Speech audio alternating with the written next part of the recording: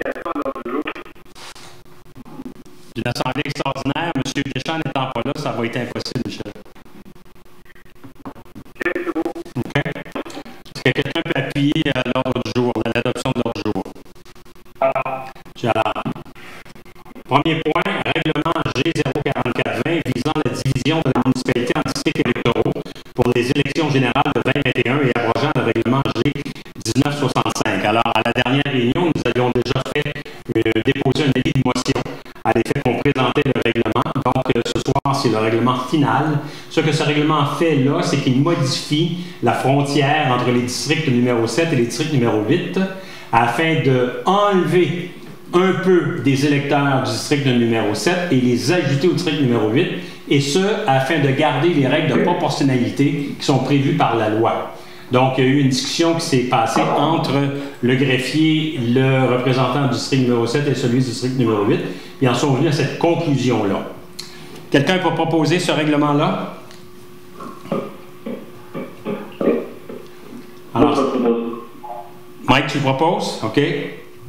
Et appuyé par? Hénaud. M. Michel Hénaud. Demande de vote. M. Lebon, vous demandez le vote. Étant donné, M. Lebon, que c'est un conseil, c'est, un district dans lequel vous êtes impliqué, j'aimerais savoir pourquoi vous demandez le vote. Parce que, j'ai pensé- parce que de toute façon, j'aurais fasse, comme je l'avais dit la dernière fois, vous êtes au courant, qu'on nous en fasse plutôt la réforme où on aurait pu avoir, conformément à la loi, on avait cette possibilité de, choisir 8 euh, jusqu'à 12 euh, conseillers. Or, on aurait pu faire une réforme qui va nous obliger de toute façon de le faire la prochaine fois à, à au moins 10 conseillers. Et je peux vous dire aussi qu'à cet égard, c'est sûr qu'un bassin de population plus grand, ben, ça implique évidemment plus de charges, plus de porte-à-porte. Et c'est une situation qui est euh, un peu préjudiciable pour les candidats indépendants, je vous l'avais dit la dernière fois, à savoir que, évidemment, on a tout le programme à faire, on a tout à faire dans une élection, tandis que les, les conseillers qui sont de type parti, qui viennent des partis, eux ont tout un soutien derrière. Alors, c'est sûr que c'est un avantage indéniable pour des conseillers de parti plutôt qu'à des conseillers indépendants qui en avaient 11, euh, 10 ou 12 conseillers, aurait été plus facile. Il y avait aussi l'argument, à savoir de euh, déjà cadrer les, euh, électeurs sur euh, ce qui aurait été prévu pour les prochaines années de toute manière. On aurait pu faire cette réforme-là. Ça, c'est un certain temps, ça. Et donc, euh, c'est pour ça que je vais demander le vote et que je vais voter contre. Est-ce qu'il y en a d'autres qui veulent s'exprimer sur cette euh, proposition-là? On l'a fait la dernière fois, quand j'ai été présenté. Moi, j'aurais aimé qu'on euh, explore la possibilité d'avoir 10 districts, étant donné que la prochaine élection, ouais, celle qui s'en vient évidemment, l'autre après, on va être obligé de monter, donc changer l'habitude des électeurs deux élections en ligne, peu importe le nombre. Je pense que c'est une pratique qui n'est pas très, euh, pas très, pas, pas très utile ou pas très efficace. Alors, euh, moi aussi, je vote contre. Parfait. M. Doyle, pour ou, ou contre? Pour. M. Leborgne? Contre. M. Allard? Contre. M. Corbeil? Pour. Mme Laberge? Pour. M. Gendron? Je peux comprendre les deux conseillers. Euh, moi, je vois pas de différence entre être un conseiller indépendant ou un conseiller en équipe euh, pour le travail qu'on a à faire. C'est que, honnêtement, ça aurait dû être commencé l'année passée pour s'assurer qu'on le fasse. Mais là, on est trop tard dans, dans le système pour le faire. Fait que euh, la prochaine élection, c'est sûr que ça va être euh, ça va être 10 probablement et non 12. Excuse-moi, et peut-être 12 euh, dans la prochaine élection. Fait que euh, je pense que c'est meilleur pour la population complète qu'on fait la pro- le prochain mandat d'un conseil et non la nôtre. Fait que c'est pour. Que le greffier prenne en note que moi, je suis contre. Je suis contre parce que la, rue principale, qui est une rue avec euh, des commerces, avec des résidences, c'est une rue qui va maintenant être sous la responsabilité d'un seul conseiller, alors que j'aurais préféré qu'il puisse y avoir deux conseillers. Donc, ça veut dire trois contre et le restant est pour. Donc, le règlement est approuvé. Modification du règlement sur la circulation et le stationnement G1309 visant à modifier le chapitre 3 relatif à la vitesse dans les rues locales de la ville. Alors, on avait eu un avant-projet à la dernière rencontre à l'effet qu'on était pour modifier les vitesses dans les rues de la ville. Donc, il y avait un avis de motion. Maintenant, je vais laisser le greffier nous parler du projet qui est déposé ce soir comme étant le premier projet. Il va y avoir le projet final après. Allez-y, M. Dolan, expliquez-nous ça. Oui, euh, les changements les, plus importants, c'est que toutes les rues résidentielles deviennent à 40 km. Tout ce qui est rues euh, bord de l'eau, qui, euh, ont une, vue panoramique sur le bord de l'eau, en autre, la Youville, Salaberry Sud, Salaberry Nord, Nord puis Haute-Rivière devient des rues à 30 km. Et euh, tout ce qui est euh, zone scolaire et euh, rues qui, qui, sont autour d'un parc reste à 30 km. Tout ce qui est boulevard, boulevard principal, en autre, la, rue industrielle principale, Saint-Jean-Baptiste, reste à 50 km. Et tout ce qui est les rues sous la responsabilité du MTQ, Ministère du Transport du Québec, soit le Saint-Bernard et René Lévesque, reste à 70 euh, km. Les rues qui sont dans le, quartier industriel vont rester à 50 km, autre que la rue euh, Pierre-Boursier qui euh, qui va devenir à 40 km. La rue Pierre-Boursier, de, de où à où? Ben, la rue Pierre-Boursier. à partir du boulevard industriel? C'est ce que les conseillers ont demandé. À partir de Mercier, d'autoroute 30, la viaduc, jusque le boulevard industriel. À partir de du un quartier résidentiel. À partir du boulevard Ford jusqu'à Mercier, ça serait correct. Mais avant ça, c'est pas un milieu urbain du tout. C'est un milieu de camionnage. C'est un manque de respect à l'intérieur des gens qui utilisent le boulevard industriel pour des fins de camionnage. Il y a un atelier de réparation, il n'y a aucune résidence, absolument rien. Ben, pensez-y, pensez-y deux minutes. Euh, monsieur, monsieur Conrad, conseiller. C'est pas vrai. À côté du dépanneur, euh, il y a des résidences jusqu'à Sainte-Marguerite. À côté du dépanneur, il y a des résidences. Sur l'autre côté, il y a Poste Canada. Ce sont des industries qui sont là. Et quand les gens vont quitter le boulevard industriel à 50 km, vous allez les faire baisser à 40 sans qu'il y ait aucun milieu urbain bâti. Mais de, de Pierre-Paul de Kennedy à aller jusqu'à Dupuis, il y a toutes des maisons à droite dans l'allant vers Mercier. Fait qu'à ta droite, il y a 5, 6, 7, plus que ça, on a des maisons. Tout à fait. moi, je pense, oui. Puis, ils, utilisent leur frein Jacob à Caterpillar. Euh, pas mal. Fait. que s'ils vont moins vite, ils auront l'utiliser. Mais ce que tu dis, là, Mercier, c'est-à-dire Kennedy Dupuis, ça, c'est après le boulevard Ford. Donc, après le boulevard Ford, que les, les euh, qui est plus de, de 50 km, je serais parfaitement d'accord. Parce que les gens qui viennent d'industriels vont tourner, ils vont aller choisir Poste Canada, puis il y a trois, quatre endroits, il y a même un atelier de réparation. Après ça, ils tournent sur Ford. Mais après ça, il y a pas, de toute façon, s'ils partent de Sainte-Marguerite, ils partent devant qui sera à la droite, puis arrivent juste au coin de Kennedy, il y a des maisons à droite. Et Eric le dit, puis euh, je le confirme, il y a des maisons là aussi. De toute façon, ils n'ont même pas le temps de prendre le titre. Il y a un stop à Kennedy, il y a un stop sur Ford, puis un stop à Sainte-Marguerite, parce qu'ils pourraient pas aller plus vite d'une façon ou d'une autre. Mais ça protégerait ceux qui descendent de, de, de Mercier en s'en vers Châteauguay, en, en, faisant en descendant l'overpass. Ça arrive la première rue à ta gauche, c'est du puits. Puis de là, aller jusqu'au dépanneur, à la gauche, c'est des maisons privées. Ça, il faudrait que ça soit à 40 km à l'heure. Tout ce qui est entre Ford et Mercier devrait être à 40 km. Kennedy Dupuis, c'est après Ford. Ceux qui arrivent de Mercier devraient arriver à 40 km, c'est sûr et certain. Mais jusqu'à Ford, par exemple. Entre industriel et Sainte-Marguerite, d'accord avec vous, monsieur le maire. Entre industriel et Sainte-Marguerite, il n'y a aucun résidentiel là. Je suis d'accord avec vous, mais après Sainte-Marguerite jusqu'à Mercier, il y a du résidentiel du côté, euh, côté nord. Tout ce que je vous demande, c'est la petite portion entre, entre Sainte-Marguerite et Ford. C'est très, très, très, très petit. Vous avez trois résidences sur un côté, puis après ça, vous en avez quatre qui sont là.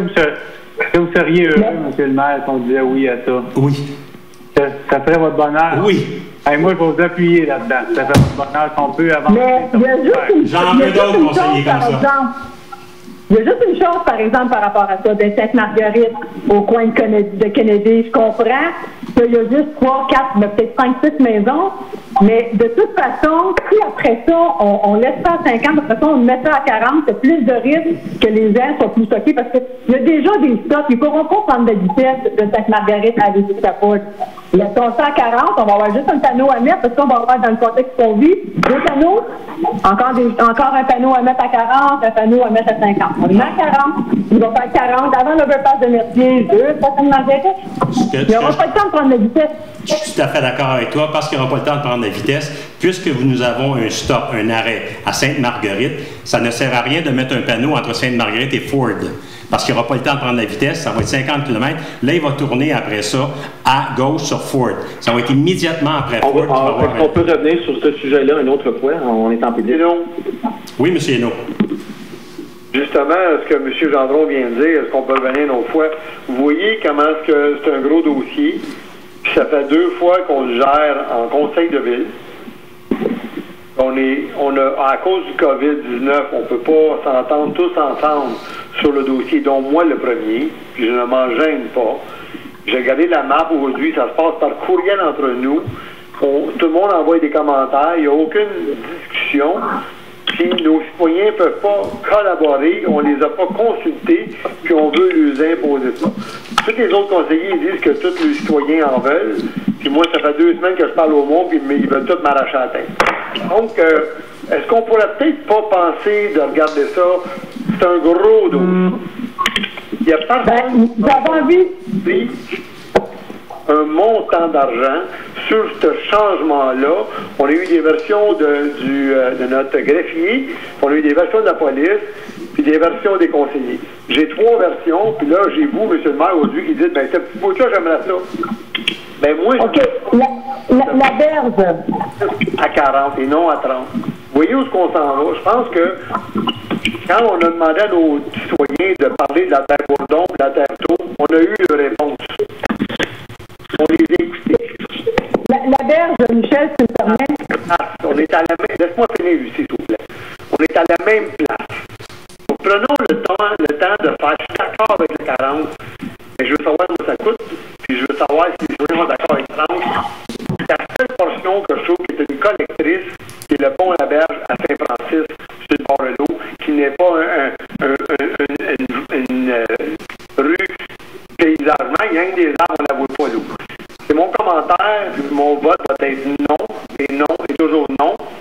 Jusqu'à la fin. Si on ne va pas, qu'on se rencontre pas tous ensemble. M'excuse de m'être- de m'être emporté, mais ça me déçoit énormément qu'on n'est pas capable de discuter ensemble, accepter sur Zoom. Merci. Madame Laberge. la berge, Pierre-Paul, euh, Pierre, euh, excuse-moi, Michel, tu en train de me dire qu'il y a 16 ans passés, quand Marc a fait partie de ce débat-là, que tu as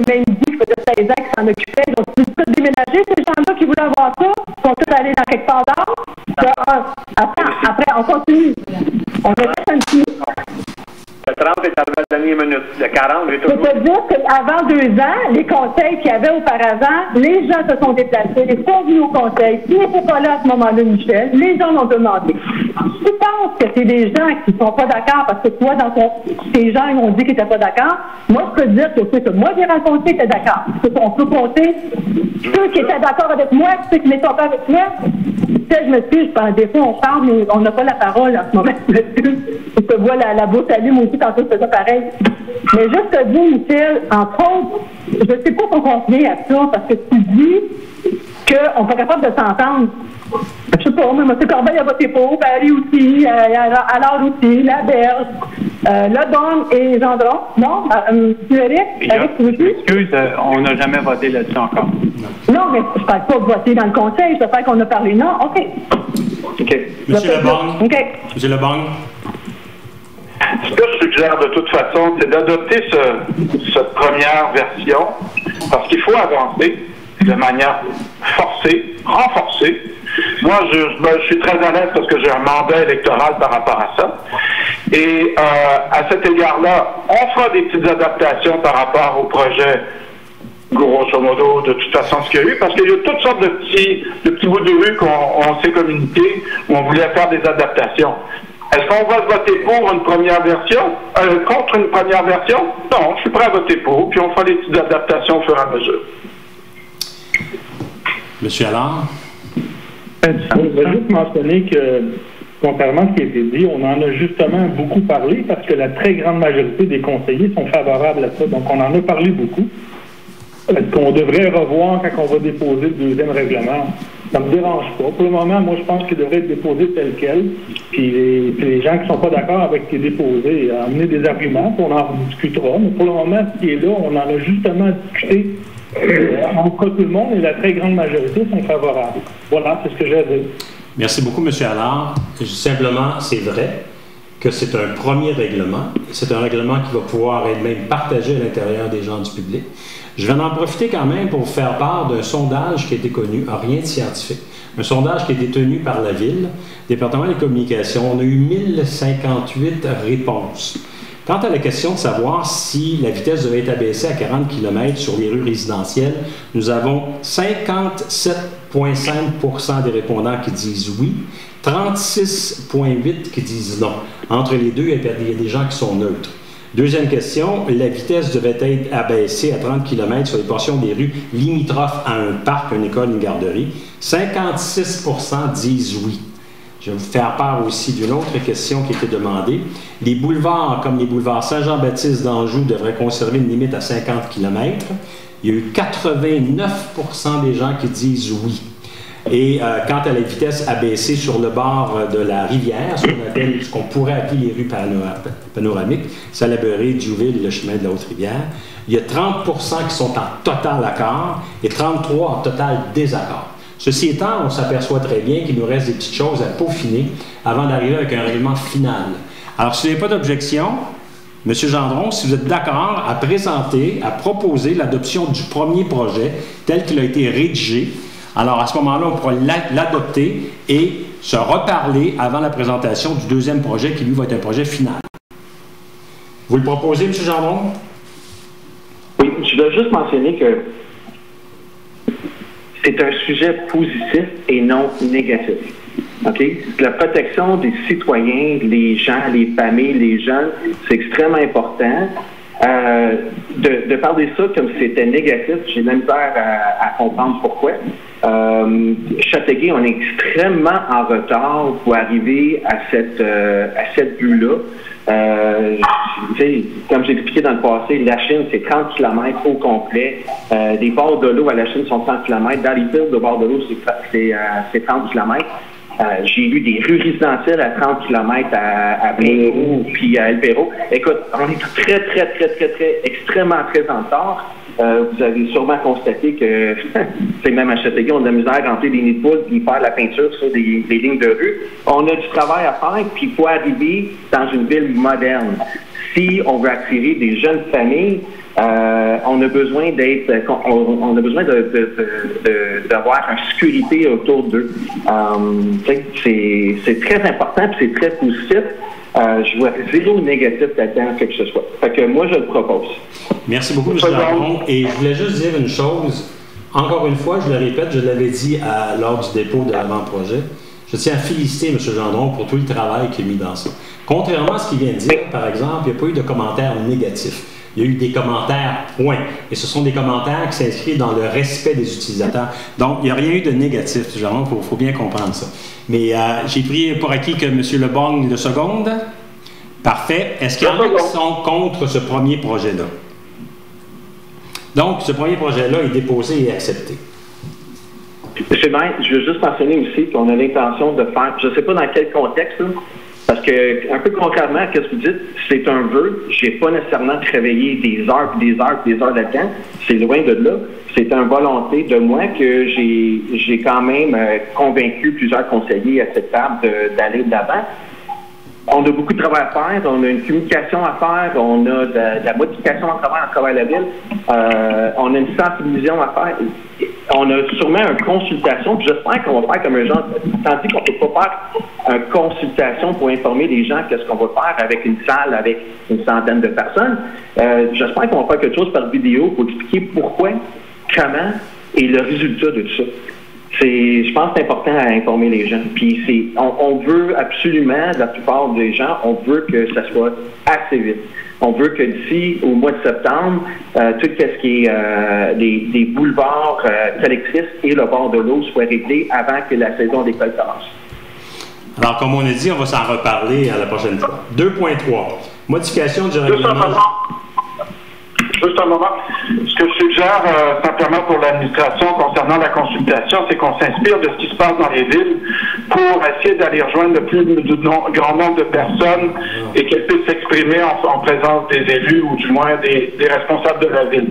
On peut essayer d'aller voir des expériences ailleurs. Parfait. Merci beaucoup, M. Lebon. 2.3. Modification du règlement général G029-18 concernant la propreté, la sécurité, la paix et l'ordre sur les voies publiques, les trottoirs, dans les parcs et euh, les lieux publics. Alors, c'est un règlement général qui va d'ailleurs avec le suivant et euh, qui porte sur différents objets qui n'étaient pas clairs. Donc, on revoit des objets. Par exemple la consommation d'alcool. Alors, on- elle est interdite. Euh, je vais vous donner un petit exemple, un détail. Il est interdit d'uriner. Bon, là, on a écrit qu'il est interdit d'uriner et de déféquer aussi sur, euh, sur la voie publique. Aussi interdit de faire des graffitis. Alors, donc, c'est une redéfinition aussi de ce qu'est un lieu public. Donc, c'est rien de nouveau, c'est rien de majeur, c'est simplement une mise aux normes, selon les nouvelles normes légales. C'est proposé par? Voilà. M. Doyle et appuyé par?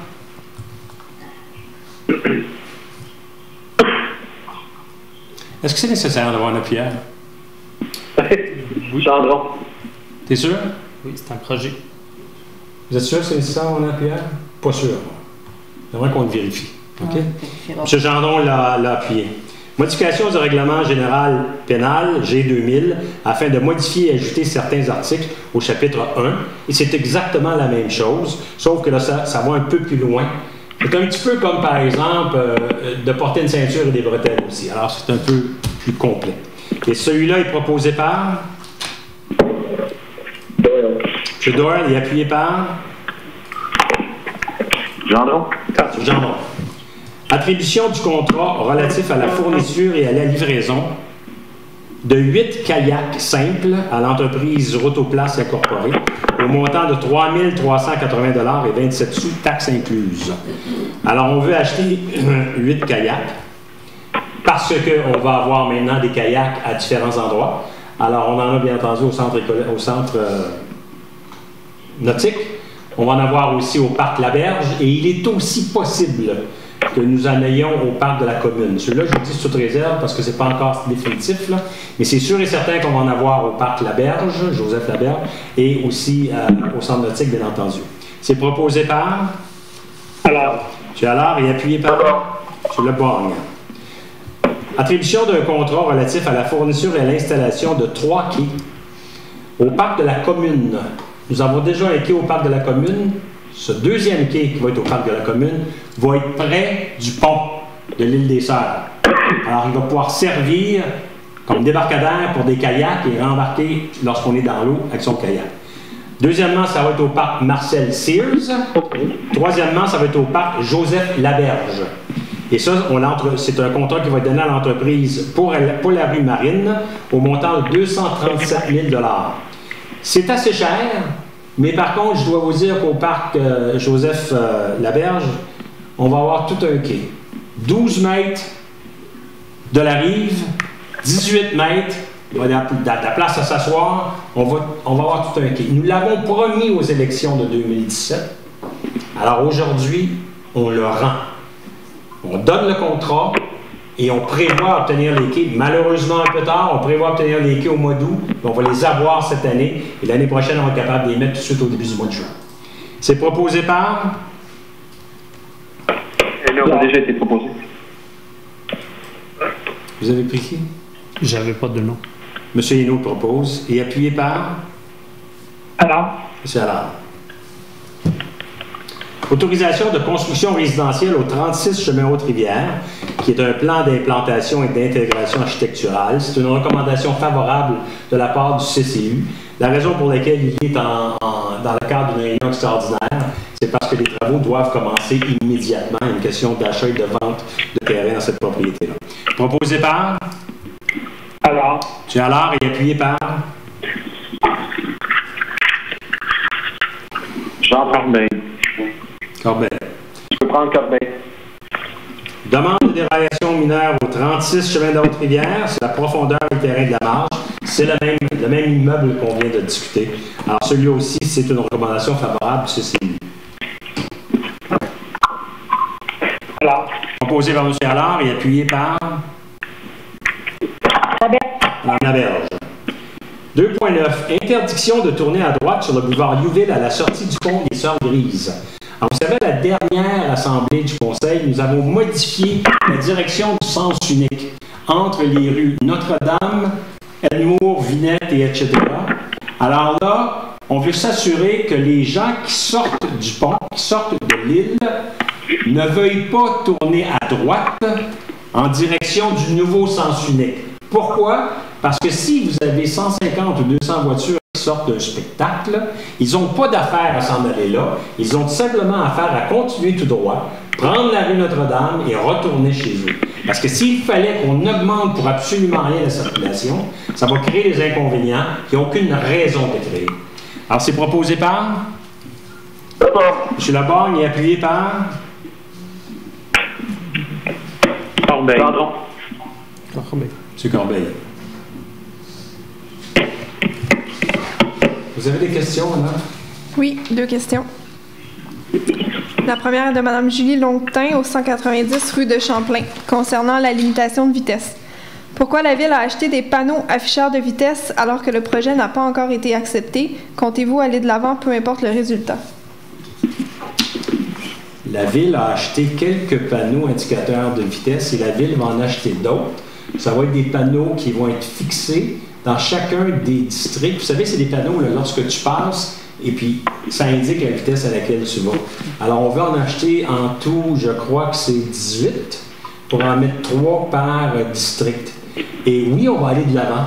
Quelle que soit la décision relativement à la vitesse, la question de vitesse ici, c'est pas que la vitesse, c'est la sécurité, la stabilité. Alors oui, on va aller de l'avant avec ça, c'est certain.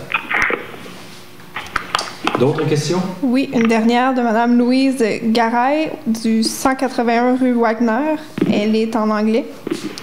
I recently communicated with our mayor suggesting that it be proactive in giving video updates to the public regarding all those subjects. People want to hear updates from you on a regular basis. If your schedule permits, you may, can you do these video on a regular basis and include meaningful, pertinent information such as COVID statistics for Chateauguay, status of the workforce for city workers, construction sites in progress, and the overall good things happening in our town? I thank you very much. Yes, there are a lot of good things happening in our town.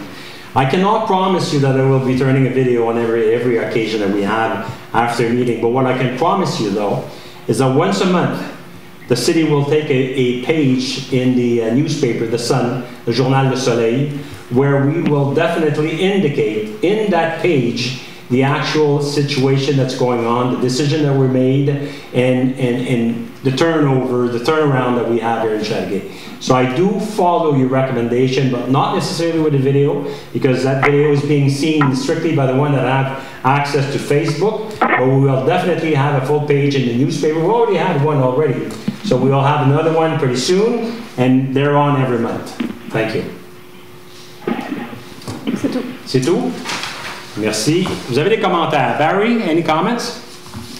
Non, Monsieur Leborgne? merci. Oui, j'ai des commentaires.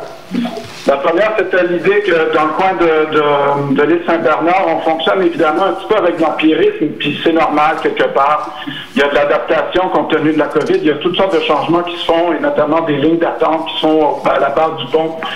Il y a entre autres l'idée de euh, la rue Elmore.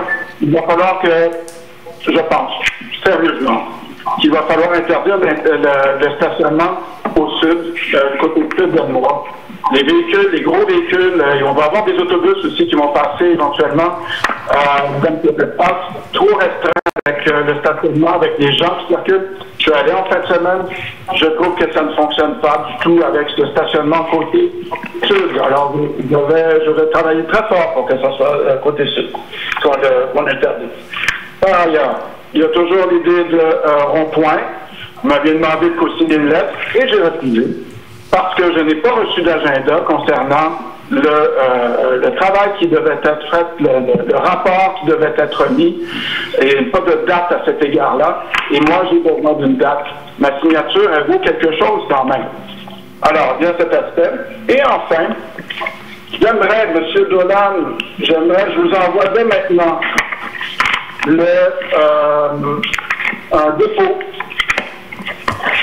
et euh, dépôt des recommandations de l'AMP intitulé Recommandations formulées au conseil municipal de la ville de Châteauguay concernant le compte attribué à la suite de l'avis d'intention 1198-284, article 31, euh, en parenthèse 2 de la loi sur l'autorité des marchés publics. Pourquoi est-ce que je fais cette démarche? Parce que tout simplement, nous n'avons jamais eu ce document de la part de la mairie, je le souligne, et ce document, à ma connaissance, a été reçu le 12 mai. C'est des recommandations formulées au Conseil, c'est notre correspondance, et en ce que j'ai compris de certaines euh, de, de courriels qu'on on- parce que j'ai posé des questions là-dessus, on m'a mentionné qu'il avait été convenu, convenu de remettre ce document à la DG avant de le remettre au conseiller, alors que c'est notre correspondant. Ma question, je vous l'avais posée. Il a été convenu, convenu, on peut convenir seulement avec quelqu'un d'autre, avec d'autres personnes. On ne peut pas convenir avec soi-même, à moins d'avoir un trouble de personnalité. Je vous l'ai dit. Et je n'ai reçu aucune réponse à cet égard. Qui a convenu? De quelle autorité autoproclamée a-t-il été convenu de nous restreindre dans cette correspondance, donc de retenir? Et en, au surplus, vous avez parlé aux journalistes, vous avez parlé avec la troisième personne, on va faire, on va tirer, et ceci, et cela, alors que le Conseil n'était même pas au courant de cette situation. N'était pas au courant de euh, la remise, et à cet égard, du moins moi je ne l'étais pas, j'ai pas reçu le document officiel à cet égard, et c'est d'autant plus pertinent que peut-être qu'on aurait eu une opinion, comment faire le diagnostic par rapport à ça, par rapport à ces recommandations. Qu'on va à l'interne, est-ce qu'on va à l'externe, comment est-ce qu'on traite, euh, euh, comment est-ce qu'on va aborder ce genre de sujet-là? On a quatre petits jours pour faire une correspondance. On est déjà rendu le 8 juin. Imaginez-vous le délai qui a passé. Alors moi, officiellement, maintenant, je sais moi, à nouveau, parce que j'avais renseigné le conseil en, en, télé, par courriel, mais là, officiellement, je remets cette correspondance de l'autorité des marchés publics au conseil, à la ville, hein, aux, euh, aux autorités de la ville. C'est pas vous qui l'aurez remis. Mais on n'a pas encore, de toute façon, l'original avec la signature de l'autorité euh, à cet égard. Alors, qui a convenu, M. le maire? Je sais pas. dites- Pourquoi a retenu? Dites-moi. Qui a retenu? Dites-moi de quel Dites-moi ce que dites-moi ce que vous lisez. là. Vous lisez le convenu sur quel, quel document? Vous dites que quelqu'un vous a dit que ça avait été convenu. Vous,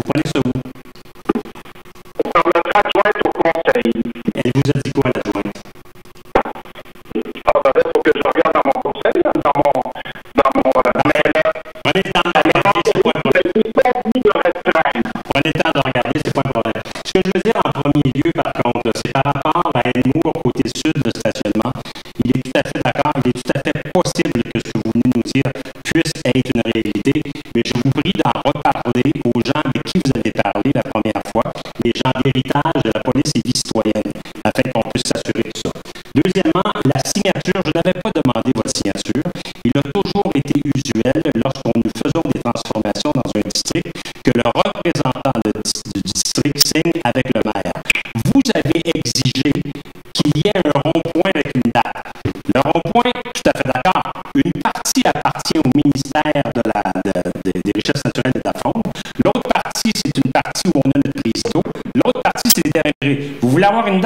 Appelez ces gens-là, déterminez la date, puis je vais signer la date, moi.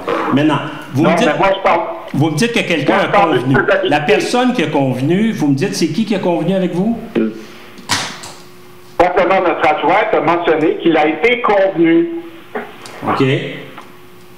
probablement par moi, parce que lorsqu'on avait reçu ce document-là, je me souviens très bien d'avoir écrit à l'adjoint pour dire nous allons la remettre aux membres du Conseil lorsque l'administration l'aura analysé et aura fait ses recommandations. Et après, ça s'est malheureusement égaré. Mais c'est exactement ça qui s'est passé. Et après qu'on ait eu ça, ça a tombé entre deux chaises. C'est tout. Mais à la base, là, avant même que vous, que vous seul conveniez, euh, non, c'est pas la moi. bonne chose de nous remettre la correspondance. C'est pas moi qui si ai vous étiez passé dans nos boîtes courrier hein, pour aller prendre ce qu'on devait lire. C'est pas moi qui a convenu. C'est l'adjointe au conseil et moi qui avons convenu.